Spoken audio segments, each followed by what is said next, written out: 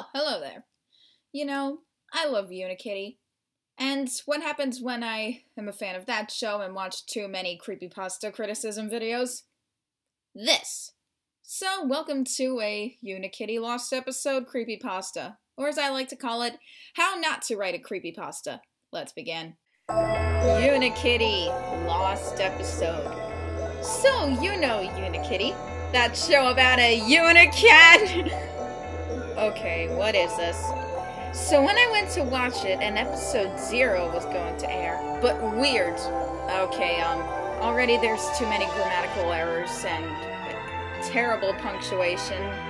So we're off to an amazing start, aren't we? I watched that new episode. It's a new episode, but episode zero is um after episode uh three or something like that. Okay. Unikitty's eyes were black, along with the others, while all of their mouths were open! Why does open have an uppercase O? The episode started. Unikitty was walking in blood. The reveal was this. Her eyes were bleeding! And it was weird. Before the lines, Unikitty stabbed Puppycorn for one hour! Okay, before... What? Okay, dialogue, but, uh... You can't stab your little brother for one hour. I mean, first of all, how did this get onto Cartoon Network? Second of all, Unikitty episodes are like 11 minutes long. How can a stabbing scene go on for like an hour? Oh yeah, and um, uh, the capital lowercase letters are uh, completely out of place too. He was screaming, and he was, I mean, as he was dying by being stabbed. Then Unikitty laughed, then the screen started getting weird. Static then appeared! Then it started, causing a black screen. Then it started. Um, what's gonna start over and over again? What's going on? Unikitty was sitting. Puppycorn was next to her with bloodshot eyes, and he had a knife. He murdered Unikitty and became evil. Then the line started. Okay, if she stabbed him for over an hour, how is he still alive, and how could he kill her? Okay, we get a bunch of spaces, and then here the video's lines. I thought this was a TV episode. Alright, get ready for some, uh, terrible impressions. It's time to die! Richard phases through the floor, causing Unikitty to stop. Princess, we don't have to make this a huge deal. Oh, so now you're in on this too, huh, Richard? Okay, so Unikitty stabs Richard. Richard drops uh, drops down. You're next! Cut to the front of the line. Wait, what line? Two citizens, one acting as a base and a triangular one on top of them are in line. Okay, so that makes sense.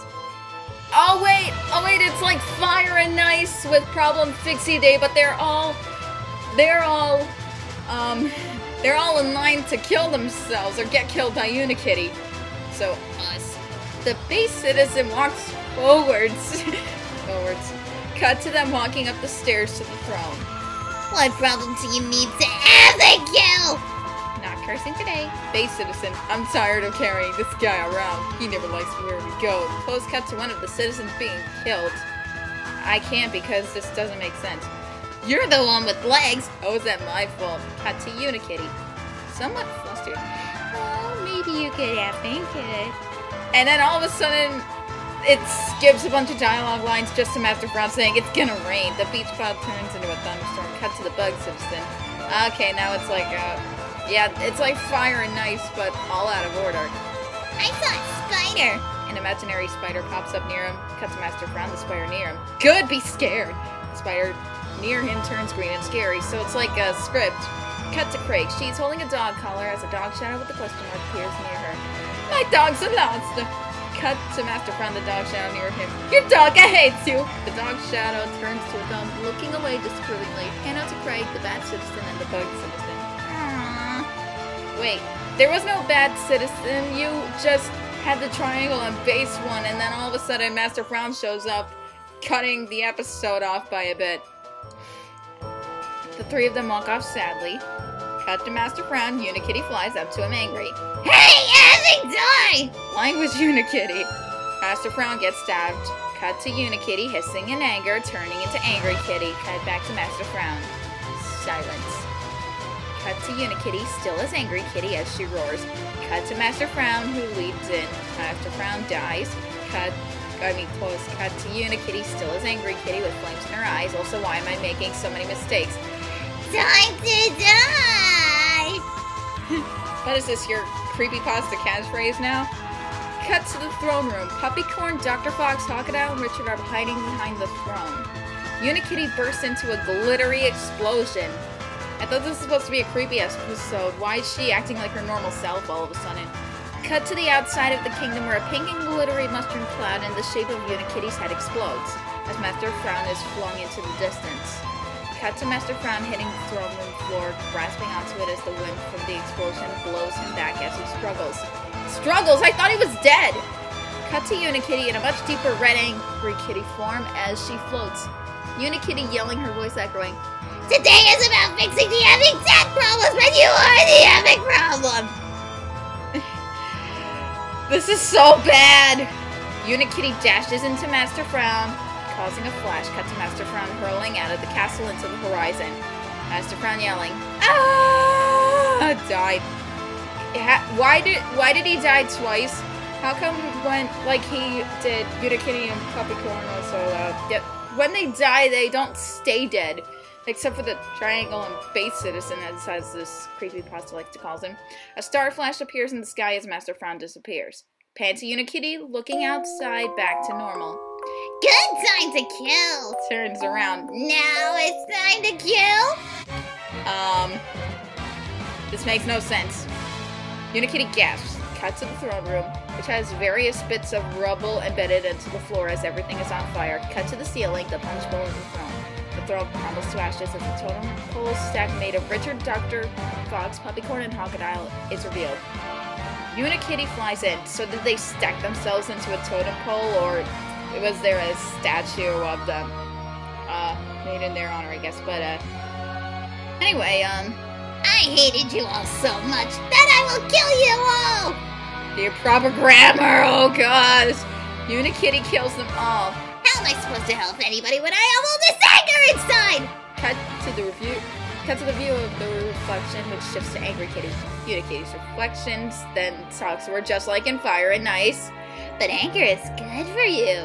Cut to Unikitty. No, it's definitely not! Cut to the reflection. Yes, it is! Okay, now we get this uh, conversation, well, argument, I should say, between Unikitty and her reflection up until it says cut to Unikitty who stomps on her reflection. No!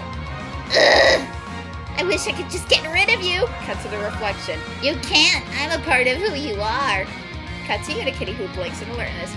But maybe you don't have to be. F you! You're a B word for dog! Stabs Unikitty's reflection. How can you stab your own reflection? That doesn't make sense.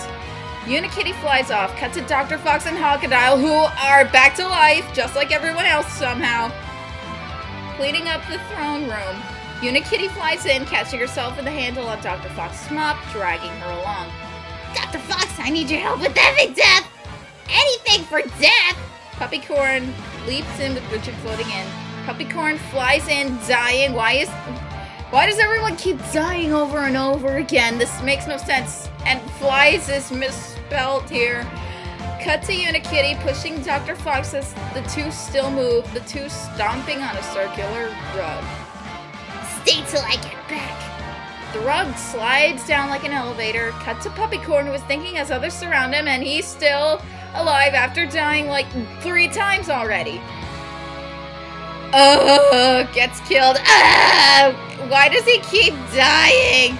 Puppy Puppycorn starts to break breakdance as techno music plays, even though it just said that he died. And Richard watch from behind in shock. Hawkeye leaves near him. Oh, I can't do Hawkeye. Oh, gosh. Speakers and various citizens surround Puppycorn, cheering as the lights go technicolored. Um, Richard flies up, looking down in confusion. Cuts Unikitty and Dr. Fox in the lab. Dr. Fox wheels together a machine. Uh, or welds.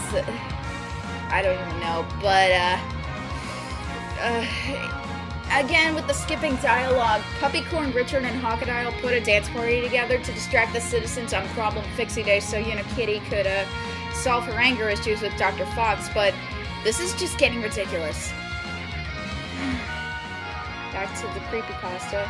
For God's sakes! You're going to hell, Doc! Dr. Fox turns around, lifting up her welding mask. Dr. Fox gets killed. Now Unikitty breaks the fourth wall by saying, Kids, don't bother locking your doors and hide because soon I will find you and kill you all. I never heard Unikitty swear. Yeah, you did like a couple of times earlier in this episode. There was a black screen and it came out on. An image flashed, but I couldn't make it out. It was like a distorted image of Unikitty, which looked pretty scary. I saw a text that said, Unikitty is watching you. I guess when I saw that text. After this video ended, I stand still and then I was looking for Cartoon Network's owner, but he was gone. That's when something behind me said, I killed him, and now I'm going to kill you. I turned around and saw a demonic Unikitty walking toward me. Even when he killed me, Unikitty's a girl. Why did she start using him uh, male pronouns? Even when he killed me, he still sang that freaking song. I don't know how um, it's supposed to be sung, but the lyrics are, we're going to hell thanks to you. The rest... Okay, so the rest of the over an hour long episode apparently showed Unikitty distorted. There's a link to some fan-made intro, and um, there were three pictures, all from uh, the show, just distorted, and uh, two of them are actually the same picture. Well, uh, that was pretty freaking awful. Luckily, it's on the fake Creepypasta Wiki. So, uh, that was the thing. Uh, nothing more than a deadly, bloody, gore-obsessed remake of Fire and Nice, but, uh, if you're gonna do a creepypasta about Unikitty or any other cartoon for that matter, please just don't do a lost episode with lots of blood and gore. It's been done to death so many times before. I mean, the grammar mistakes alone make this entirely all too cliche. Also, speaking of Unikitty, I have a brand new Tumblr blog now called Frown of Doom.